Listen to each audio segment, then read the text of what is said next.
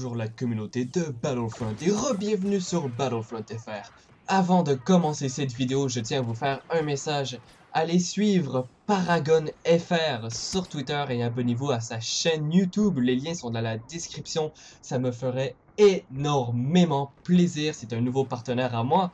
Et ils sont vraiment, vraiment cool et très gentils, je trouve. Ils vont couvrir les informations et actualités de Paragon, le nouveau MOBA qui arrive par Epic Games, qui a l'air révolutionnaire, vraiment un jeu qui m'a l'air énorme. Donc allez vous abonner et surtout le suivre sur Twitter. Merci tout le monde. Aujourd'hui, des nouvelles que nous attendions depuis fort longtemps. Les détails de la dernière mise à jour du dernier patch sont arrivés. Enfin, maintenant que la bataille de Jakku est disponible partout sur la planète, J'espère que vous l'avez téléchargé et cette mise à jour contient beaucoup plus de choses que l'on pourrait croire. Donc allons-y, d'abord il y a beaucoup de glitches qui ont été fixés, euh, je ne vais pas vous faire toute une liste, le lien est dans la description de cette mise, de tous les détails de la mise à jour, pardon, donc vous pouvez aller la voir si cela vous tente. Pour plus de détails, moi j'avais seulement euh, vous parler des choses les plus importantes. Premièrement, si vous ne l'avez pas remarqué, eh bien, à chaque début de partie, il y a un petit temps que vous devez attendre.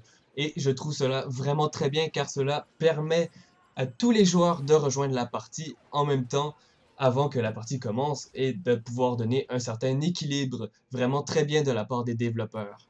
Beaucoup de petits problèmes sur les héros ont été fixés. Euh, moi personnellement j'en avais pas vraiment, mais il y en avait et ça c'est aussi très bien. Ensuite, sur attaque de marcheur, attention, un très gros élément sur la dernière partie de capture de Attaque de marcheurs sur Hot, il n'est plus possible de contrôler la TAT sur cette partie de la map, car, comme vous le savez, la TAT était beaucoup trop puissant. Il avait une vue sur tout le champ de bataille et pouvait tuer des dizaines et des dizaines de personnes. Donc voilà, ils l'ont ôté, ce qui est un peu étrange en même temps parce que je trouve que les rebelles sont beaucoup trop avantagés en ce moment. Mais bon, on verra s'ils vont fixer autre chose. Et en plus de cela, ils ont ôté les tailles intercepteurs pour l'objectif final sur Soulust et Hot, ce qui fait en même temps la même chose pour laisser plus de facilité aux Snow Speeder d'après moi parce qu'ils sont très désavantagés en ce moment. Et en plus, les véhicules réapparaissent plus proches des rebelles maintenant, le bonus est beaucoup plus proche de leur base. Rapidement sur zone de largage, le premier pod qui tombera du ciel va atterrir en plein milieu des deux équipes et non à un endroit au hasard dans la carte parce qu'il y avait une équipe qui était toujours avantagée comparée à l'autre, là ça sera au milieu, pour la première capsule de sauvetage. Et maintenant la partie la plus intéressante. Les dommages contre les véhicules aériens avec vos armes principales font beaucoup plus de dégâts, et ça c'est une bonne chose car on faisait zéro dégâts contre les vaisseaux aériens je trouvais. Le spam de la grenade à impact va maintenant diminuer. En effet, la grenade à impact fait beaucoup moins de dégâts. Elle est passée de 130 dégâts à 100, ce qui est quand même un one-shot kill, mais un peu moins puissant si la grenade est trop loin par exemple.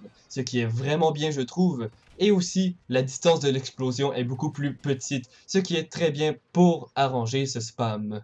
Attention maintenant, l'un des meilleurs pour moi je trouve, la carte étoile barrage a été vraiment beaucoup nerfée. Beaucoup beaucoup, même que peu de personnes l'utilisent maintenant, ce qui est un peu, j'avoue, beaucoup trop nerfé. Parce que en ce moment, ça fait, c'est même devenu inutile je trouve en ce moment. Donc voilà ce que ça fait.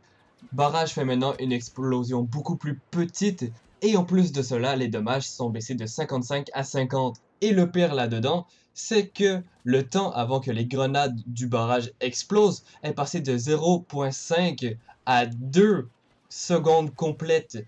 Donc vous avez beaucoup de temps pour vous enfuir de ce barrage avant qu'il ne vous tue. Donc voilà, barrage ne fait plus vraiment de dégâts sur nous. Ça a peut-être été un peu trop nerfé, mais on verra ce que les développeurs en pensent. Finalement, aujourd'hui, un autre spam a été amélioré. Le tir auto-guidé a maintenant une portée beaucoup plus petite. Elle est passée de 200 à 160, ce qui est une nette amélioration. Est-ce que c'est assez nerfé?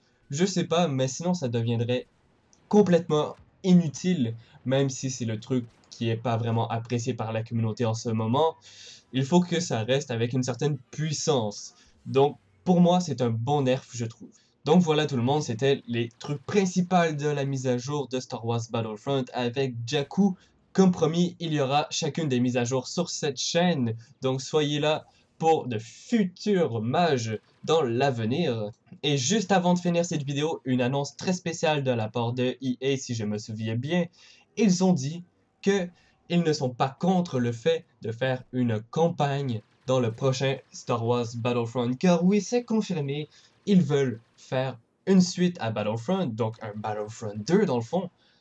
Et ça, je trouve ça vraiment bien de savoir que tout ce qui n'est pas en ce moment dans le jeu de Star Wars Battlefront, eh bien, ils ont l'intention de le mettre dans le prochain. Par exemple, peut-être la guerre des clones, et surtout une campagne. Ils ont dit que cela leur ferait plaisir d'inclure une campagne dans le prochain Star Wars Battlefront, et c'est une bonne chose je trouve.